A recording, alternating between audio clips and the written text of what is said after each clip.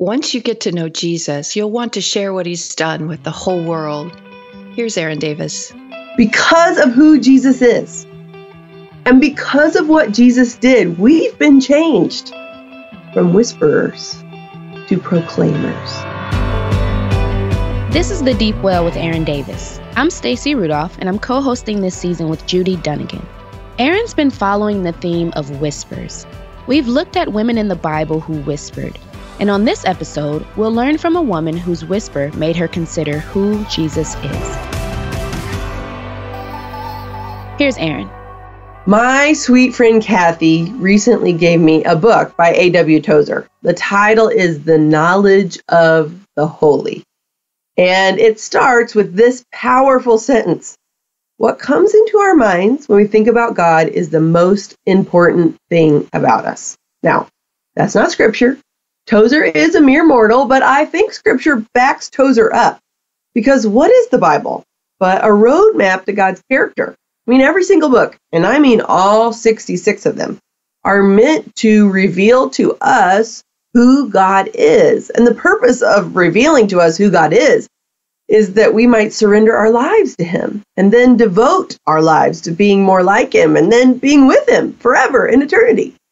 So, what does come to your mind? When you think about God? More specifically, what are your first and strongest thoughts when I say this name? Jesus. I'm so grateful that you're listening to this season of The Deep Well, and I hope you caught the first four episodes. If not, let me encourage you to go back and listen because the premise of this series, which I'm calling Whispers, is the power of a word softly spoken. We spent four whole episodes studying women who whispered in the Old Testament. But today, we get to turn the page to the first book of the New Testament, which is Matthew. And the whisperer that I want to talk about together today is Claudia. Now, you probably don't know her by that name. And if you used your Bible app just now to try and find her, then you came up short. But don't worry, I promise you she's there and what Claudia whispered about Jesus is the most important thing about her. I've said his name here and there earlier in the series, but I've been waiting this whole time to talk about Jesus in depth.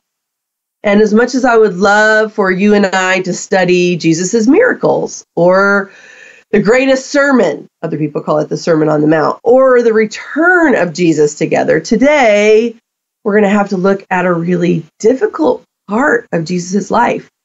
It's when Jesus was put on trial. And in the pages of our Bibles, together we are going to see Jesus given the death penalty.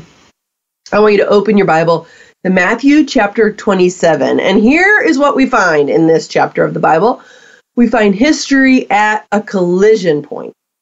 And what is really on the line here, what's really happening if you peel back all of the layers, is the answer to that great question that Tozer posed for us. And it's the question that all of us need to ask. And it really is the question that all of us need to settle in our hearts. We got to have an answer for this question Who is Jesus? Really? Now, I love to set the stage for us so we know where we've been. And here, Judas had already betrayed Jesus. The Last Supper had already occurred in that upper room. Jesus had already prayed his gut wrenching prayer in the Garden of Gethsemane, and he'd been arrested. And by this point in Matthew 27, he had already endured one late night trial in a kangaroo court in front of the religious leader. And there they sentenced him to death. And there, in that religious court, where the judge and jury were supposed to be the religious elite, they had already slapped Jesus and spit in his face. And that chapter, Matthew chapter 26, ends with Peter, one of Jesus' closest friends, denying him, not just once, but over and over and over. So if you've been a Christian very long at all, if you've read your Bible much on your own, then you already know this story because this is our story. It was Jesus' suffering that woos us away from sin and death. And for those of us who love Jesus so deeply, as I do, and as I'm sure that you do, it can be hard to read the details of what he endured, but we must. By the power of the Holy Spirit, God preserved the image of religious men spitting into the face of God. Why? Why did he do that? Because what comes to our minds when we think about God is the most important thing about us. And he was a suffering servant. He was a spit upon Savior. And that takes us to Matthew 27. I want to read you verses 1 through 2. When morning came, all the chief priests and the elders of the people took counsel against Jesus to put him to death. Verse 2 And they bound him and led him away and delivered him over to Pilate, the governor. So often, the things that make us fearful or worked up in the night tend to lose their bite in the light of day. But that's not what happened with these men who wanted to kill Jesus. As the sun rose on this fateful day, that angry mob, they stayed angry. But Caiaphas, who was the high priest, and if you'll study about him, you'll see he had been the high priest for a long time. He was deeply entrenched in that position. And he ran that religious court, but he didn't have the authority to execute. But don't politics make strange bedfellows? Most scholars think that Caiaphas and the Roman leaders who we're about to see in the passage had a mutually beneficial political alliance. So I need you to again picture Jesus, even though it may be uncomfortable. I want you to imagine that Savior that we love so much bound and delivered over to Pilate, the governor. You need to remember those three words from the end of verse 2 Pilate, the governor. Because Pilate was just one degree removed from our whisperer. Remember, her name is Claudia. Matthew 27, 3 through 10 contains a tragedy within a tragedy. Scripture tells us that Judas, the one who betrayed Jesus for some silver, Scripture actually says he changed his mind. And he tried to return the blood money that he had earned by giving over his friend. But verse 5 tells us that after he did that, he went and hanged himself. And again, what comes to our minds when we think about God is the most important thing about us. And it seems Judas got it wrong at some point, and the regret of that mistake overwhelmed him. But Judas is not our whisperer. I'm going to read you Matthew 27 11 through 14. Now, Jesus stood before the governor, and the governor asked him, Are you the king of the Jews? Jesus said, You have said so. But when he was accused by the chief priests and the elders, he gave no answer. Verse 13 Then Pilate said to him, Do you not hear how many things they testify against you? Verse 14 But he gave him no answer, not even to a single charge, so that the governor, Pilate, was greatly amazed. Ah, oh, there are a million sermons preached by Jesus in the words he didn't say in this trial. C.S. Lewis said, You don't have to defend a lion. All you have to do is let the lion loose, and the lion will defend itself. And the lion of Judah, Jesus, he didn't need to defend himself. He had already decided he was going to trade his life for ours. He was in charge the whole time, even though it seemed like he was awaiting his fate. But Pilate heard Jesus' silence loud and clear. Let me read you verse 14 again. But he, Jesus, gave him, Pilate, but he gave him no answer, not even to a single charge. Get this, so that the governor was greatly amazed. So, what came into Pilate's mind when he thought about Jesus? Was it just amazement? Because it's possible to be amazed by someone and not worship them. I'm kind of amazed by people who say they like the edge of the brownie pan. I think they're wrong. The good stuff's in the middle. So simply being amazed by Jesus is not the same thing as believing that he is your king.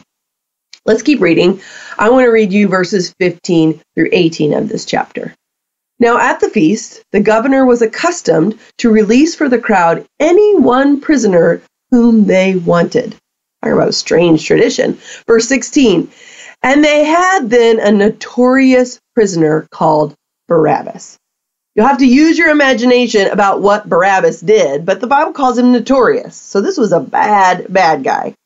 Verse 17 So when they had gathered, Pilate said to them, Whom do you want me to release to you, Barabbas or Jesus, who is called Christ? I got to think that Pilate was stacking the deck.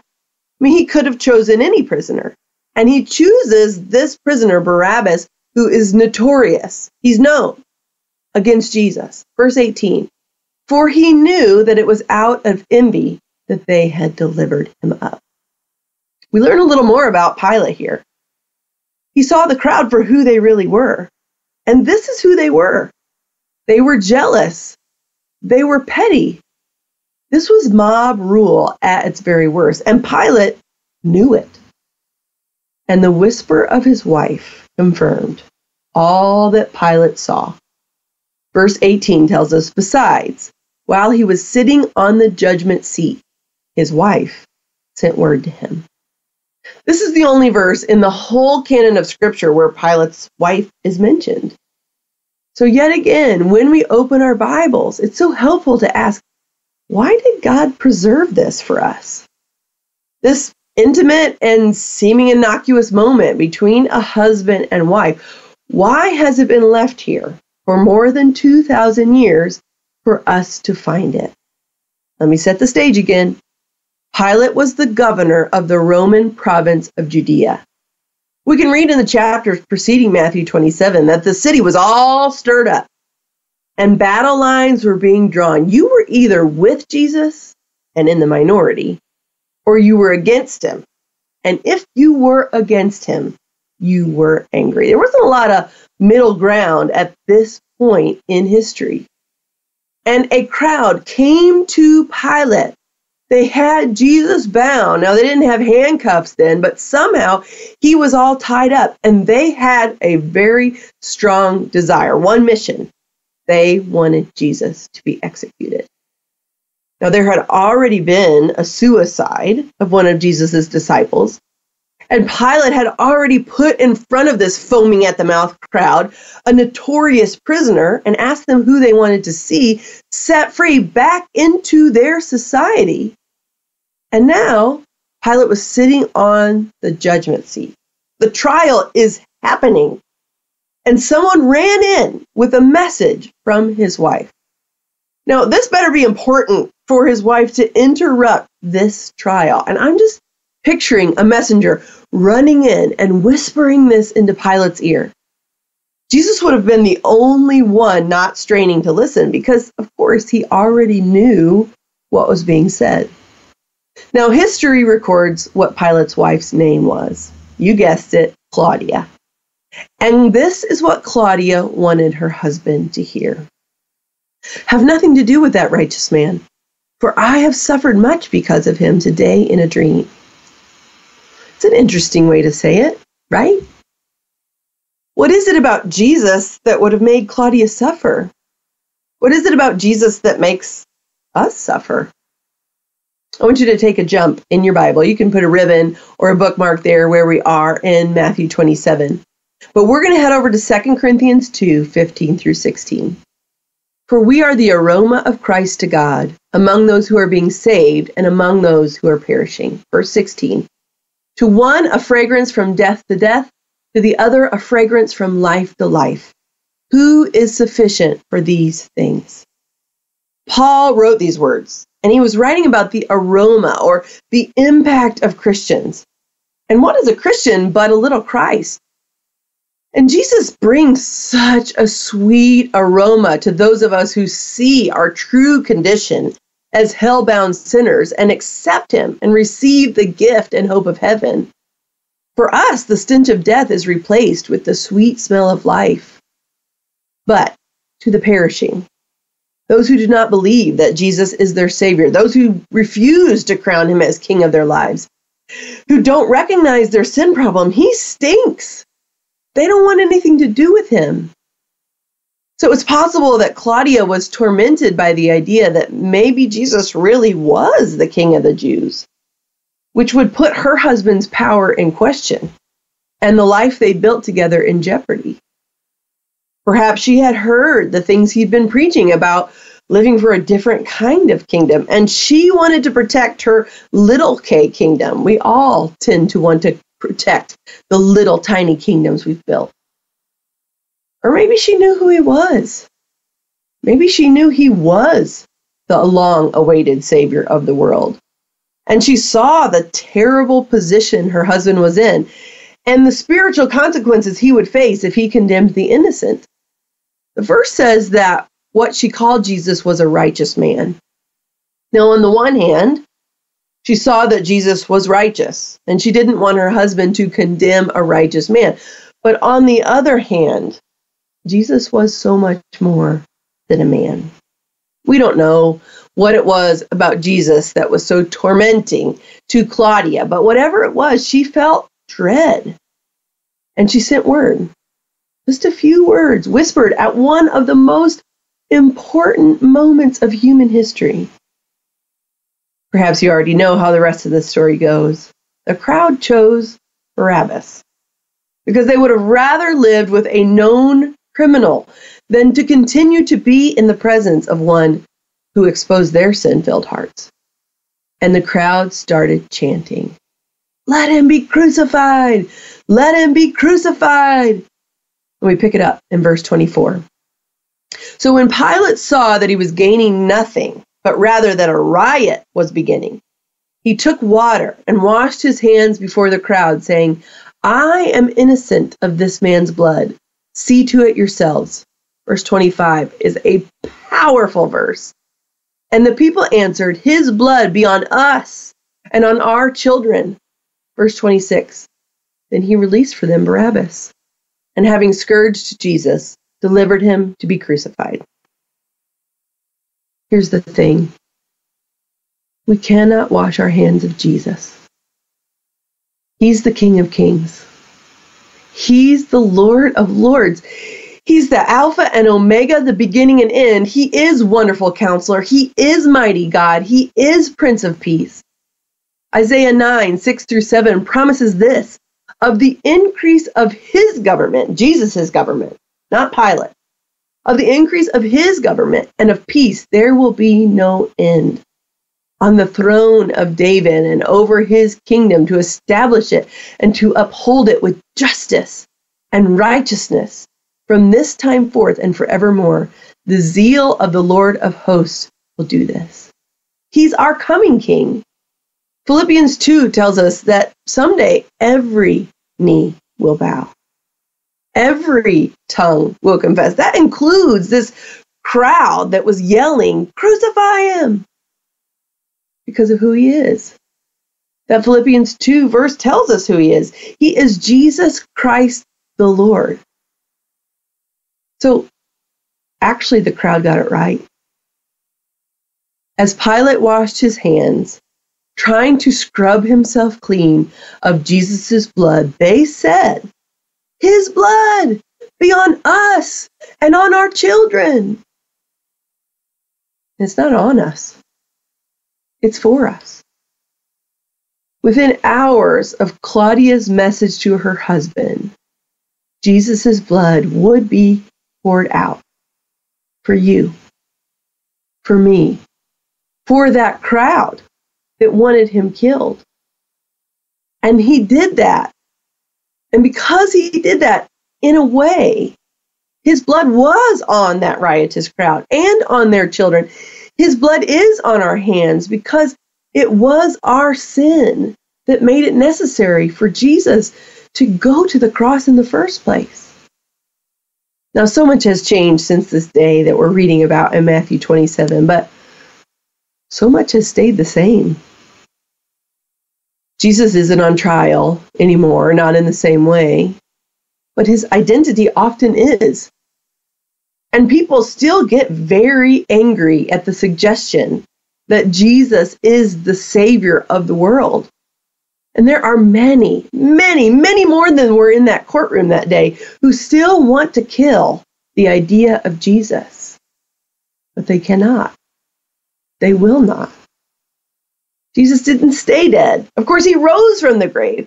And the power of the Holy Spirit was unleashed, and the church was born. And we, the church, what we believe about who Jesus is, well, that's the most important thing about us. Jesus said something pretty remarkable to his disciples. And the context of these words is that he was warning them opposition was coming.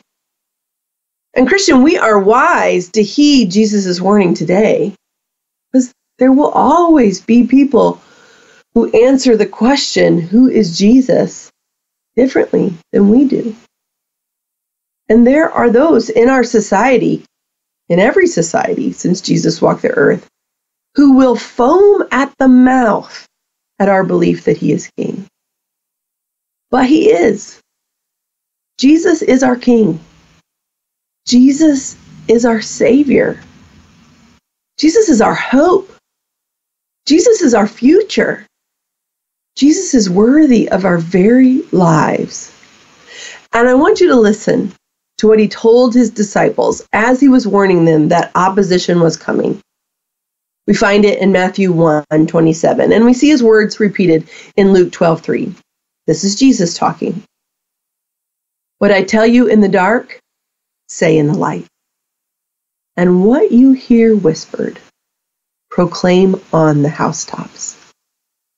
Because of who Jesus is, and because of what Jesus did, we've been changed from whisperers to proclaimers. What happened to Claudia? Well, her story's lost to history. But my hope is that though she had the words righteous man whispered into her husband's ear about Jesus, that after resurrection morning, and she would have definitely heard about Jesus rising from the dead, I hope she changed her mind about him. And I hope she stopped being a whisperer and that she spent her life proclaiming that Jesus is a risen Savior. That's really my hope for you. May you proclaim who Jesus really is from the housetops today. And when you do, I hope you fill your world with the sweetest fragrance, the fragrance of Jesus Christ. If you begin whispering questions about Jesus, and keep getting to know him, it could change your entire life. Erin's teaching is part of a series called Whispers here on the Deep Well. This podcast is part of the Revive Our Hearts podcast family. And this would be a good opportunity to let you know about another member of that family. The True Girl podcast is hosted by our co-host for this season, Stacy Rudolph. Stacy, what is True Girl all about? Well, Erin, True Girl is all about just teaching girls who they are in Christ. And at the same time, we're trying to connect them more to their moms and to Jesus at the same time. And these True Girl podcasts really just provide a quick space for mom to be able to connect with her girls. So we hope that they listen in the cars, they're going to school, they're going to the grocery store, and that they're just getting those quick scripture snacks each day. Mm, I love it. I always say that my van is my Sunday school classroom. Lot of important conversations about Jesus happen there while we are on the go. So listen to the True Girl podcast. If you have girls, you can find out more about it by visiting reviveourhearts.com or just subscribe to True Girl on your podcast app. It's time for Erin Unscripted. So, Erin, I have a question for you. Can't wait. First of all, this episode was profound. You just turned our hearts and our eyes toward Jesus. One thing you said was because of who Jesus is and what he's done for us, we've been changed from whisperers to proclaimers. Can you share what changed you from a whisperer about Jesus to a proclaimer of him? Well, my story is that I was a broken-hearted girl from a broken home in my teenage years and then I found Jesus. And I've always kind of had this big personality. I've always talked a lot. So that didn't change, but what I talked about changed. And I just immediately wanted to tell everybody about Jesus.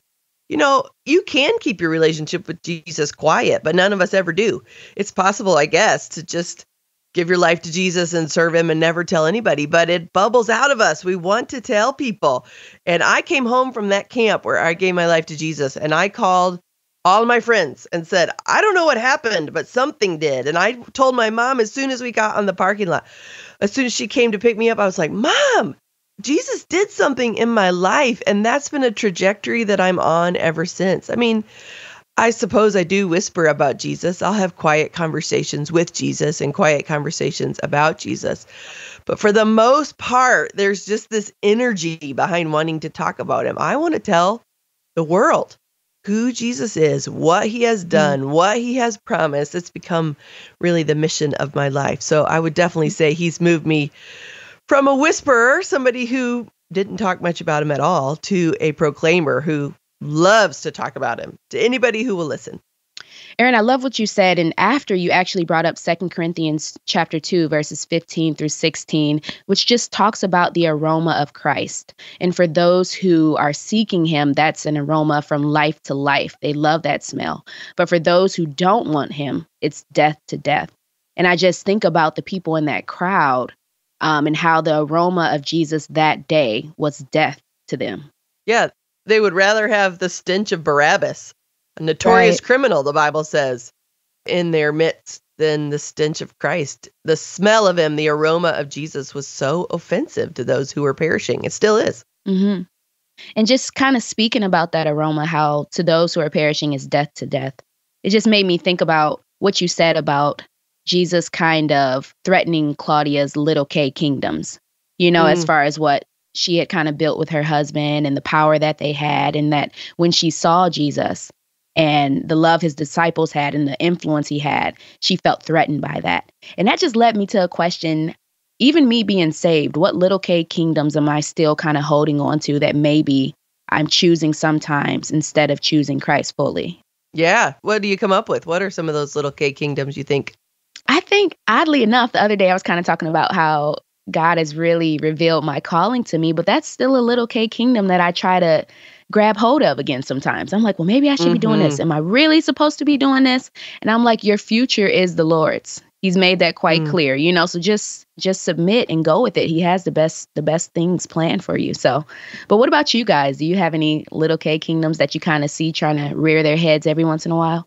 I have lots of little K kingdoms. It reminds me of when my first two were little. We lived in a little tiny house in a little tiny neighborhood with a little tiny backyard.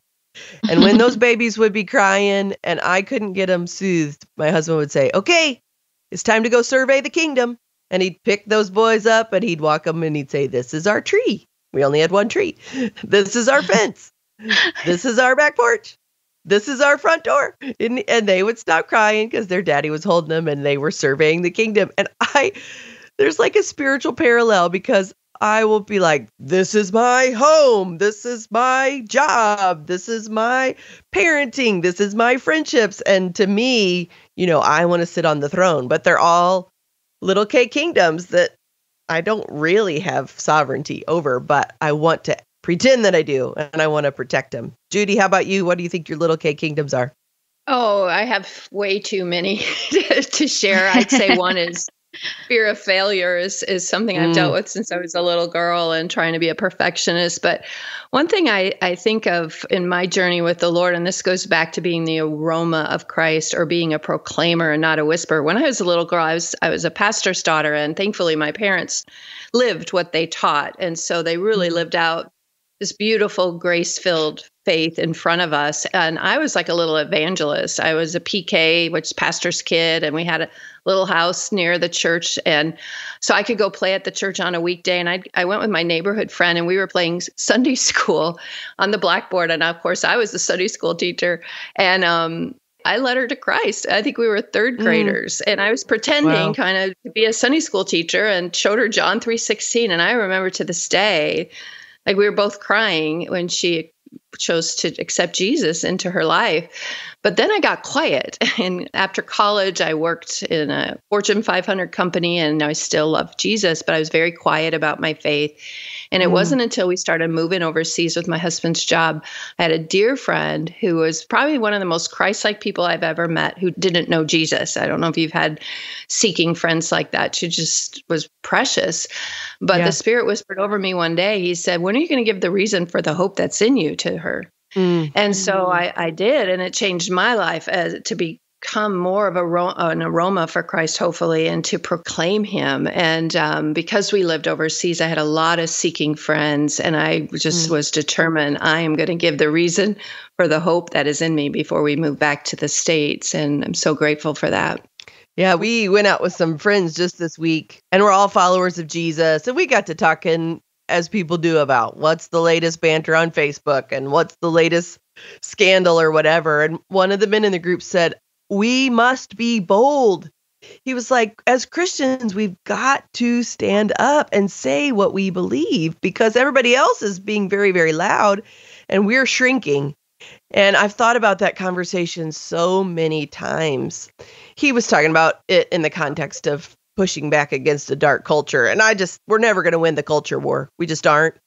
But I do think he's right. We do need to be bold. And that doesn't mean necessarily being aggressive and fist pounding. It certainly doesn't mean spewing vitriol on social media. But Judy, like you're saying, a friend that you know needs the hope of Jesus to just be bold in saying it's Jesus.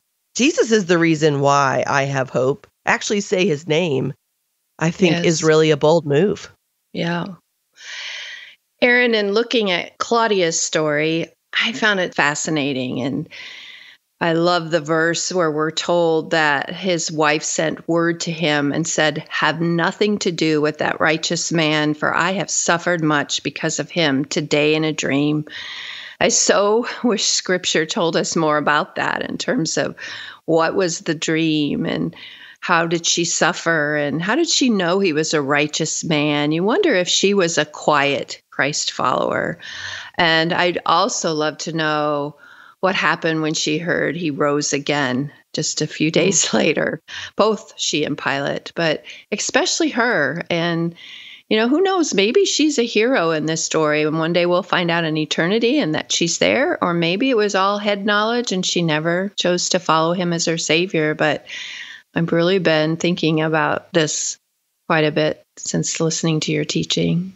Yeah, she's fascinating. If I were to pick, and it's not up to me, but to me, she seems like a seeker uh, who's mm-hmm. seeking to understand who Jesus is. And when we seek him, we find him. And if you follow the whole story and really trace the thread, it does seem to me that Pilate has a change of heart after the mm-hmm. crucifixion. He grants the body to Joseph of Arimathea and kind of breaks breaks rank with what would would have been acceptable. So I would like to think that this was a marriage, a family, a couple of high-ranking officials who were transformed by Jesus and that will be with them forever and then we'll get to ask Claudia about that dream because I'm like you, I want to know more. Yeah.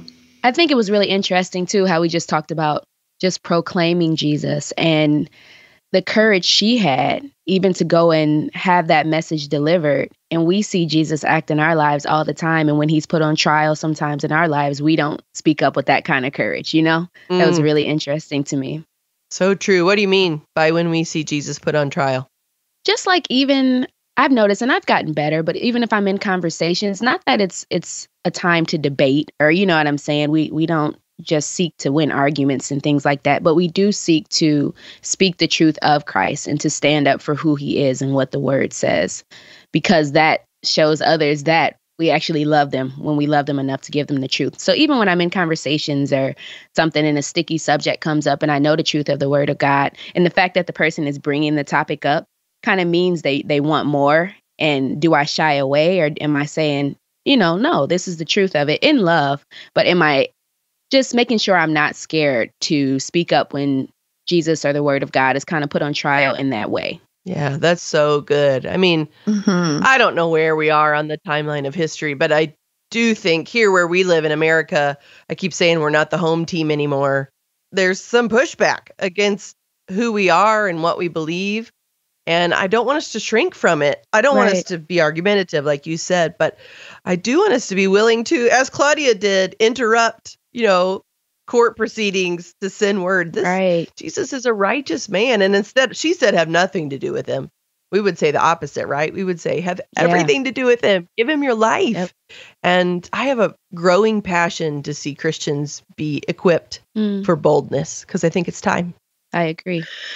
I loved how you said many still want to kill the idea of Jesus. And, and we see that really in our country. And I love too how Jesus warned his disciples that opposition is coming, but mm. it is about proclaiming the name of Jesus. I have found with my seeking friends, if you just naturally share over a cup of coffee or, or, walking around the neighborhood with them to get exercise, just talk about Jesus as if they also know him and they will be mm. drawn to him to proclaim his name that way through relationship as well.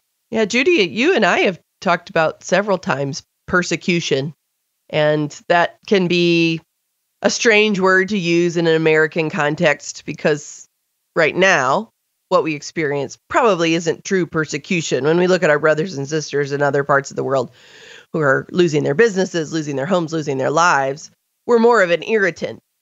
But persecution was what Jesus experienced, it's what his disciples experienced, and he warned us we would experience it. So we need to have this readiness. Judy, I feel like you have a, a special passion for seeing the church be ready for persecution. Where do you think that comes from in you? Well, actually, when I was only 22 years old, right after I graduated from Moody Bible Institute, I had the opportunity to live in Vienna, Austria for a year and work as a short term missionary with a a ministry called Biblical Education by Extension. And at that time, this would have been 1982, they were going into Eastern Europe, which was under communism then.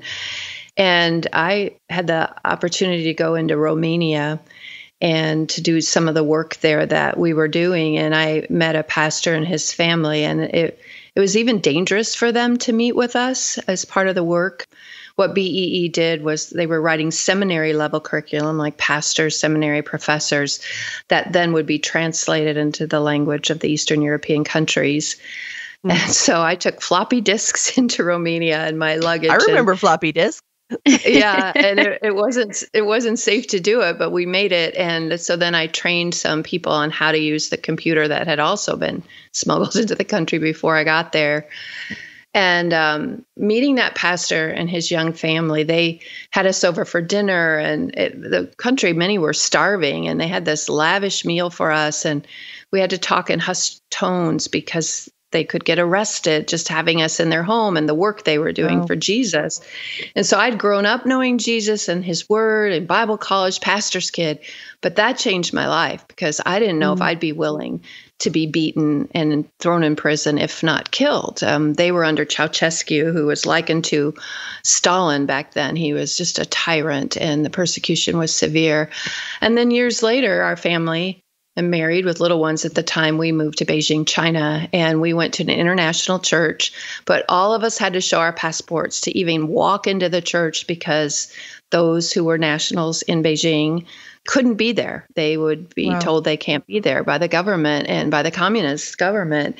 And so I've had those markers in my life. If if those Christians in those countries are willing to die for Jesus, am I willing to proclaim him to my neighbors mm. in my free country mm. and to talk about him and his word and not to take for granted the privilege of gathering in worship and studying his word openly because we don't know if that is going to be our freedom forever in our own country. And um, I just don't want to take it for granted. So that's really where the heart probably comes for the persecuted church from seeing it that up close at such a young age. That's so beautiful. I had no idea. Mm. I knew you had a passion for the persecuted church, but I had no idea where it came from. And I, I, I mean, you need not look any further than the passage that we studied in this episode to mm-hmm. see that yes, there is persecution of varying degrees that comes with following Jesus. I often mm. hear Stephen called the first Christian martyr. Well, he wasn't.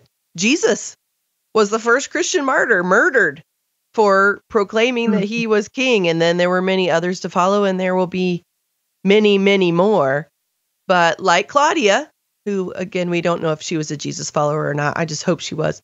Like Claudia, boldness is required, but the Spirit gives us that boldness mm-hmm. when we need it. It would be conjecture, but I do think that dream was from the Lord. That's biblical. There's many, many times in Scripture where mm-hmm. the Lord appears to somebody in a dream, and every nanosecond of the events of Holy Week were orchestrated by a sovereign God. So I don't think it's a fluke that Claudia had that dream and interrupted this court proceeding.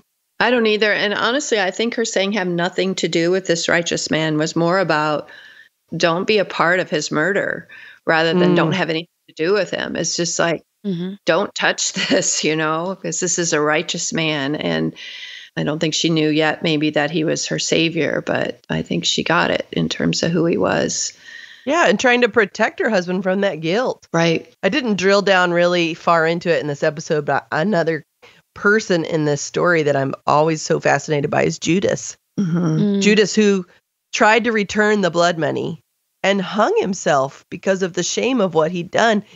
Jesus' blood was on his hands. And I think Claudia was saying, Pilate, if you murder this innocent man, she called him a righteous man, but Mhm. if you murder this righteous man, the shame and the guilt of that will never escape you. You know, I think she was trying to prevent him from, like you said, participating in the murder. He took a Mhm. passive approach, but he could only take a passive approach. Jesus was going to go to the cross. Pilate wasn't going to stop that. But I think Claudia was trying to protect her husband from participating in the murder of the savior of the whole world. You just did a really good job for me of taking her out of the story. And let me explain. I feel like whenever we kind of tell stories, people are just baked in and you don't ever Mm. think about them as individuals with, you know, a heart that God is speaking to as well or working in too. So I was just like, oh, I really don't know. Kind of like you guys mentioned before, what happened to her in terms of did she turn to Mhm. the Lord? Did she not? But it just did such a good job of giving her a life and and you know a lack of better words but yeah I just it, it took her out of the story and let me see her as an individual and what god was doing through her to keep his plans going as far as jesus going to the cross and also you know what may have come out of what he did through her you know for her personal life Yeah, the gospels are so exacting. I mean, the writer in me is so fascinated by what the people who wrote the gospels under the inspiration of the Holy Spirit, what they put in and what they left out. And almost all the human stories in the gospels end with a question mark. Like we know from Mm. Christian history that the disciples were martyred, but we don't know that from the gospels.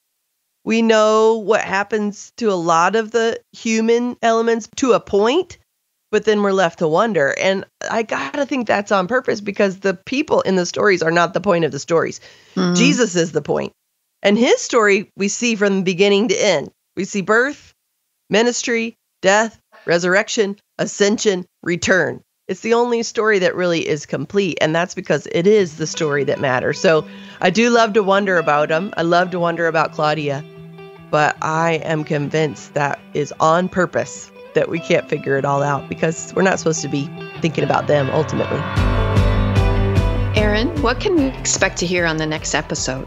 Mm, we're going to look at a snapshot of a woman who I am so fascinated by. I tend to gravitate towards her story no matter what I'm teaching on because she's mysterious. But she reached out and she grabbed the hem of Jesus's robe.